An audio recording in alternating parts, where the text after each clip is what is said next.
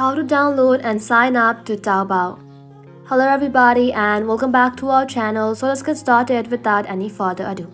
For that, first of all, you want to go ahead and open the App Store application in your mobile device.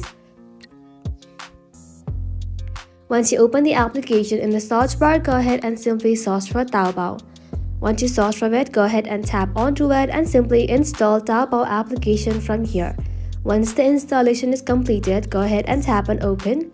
And once you open the application, you want to go ahead and tap on this little icon that says account right over here. And just like that, you'll land in this kind of interface. If you would like to sign up using your Google account, you want to go ahead and tap on continue with Google. But if you would like to use your phone number, you want to go ahead and type it in and then tap on continue. Also don't forget to tick this box.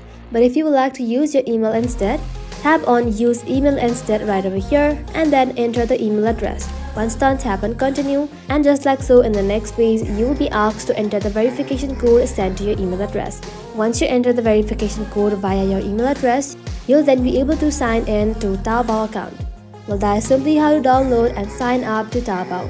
That ends the video guys. Thank you all for watching the video till the very end and stay tuned until our next upload.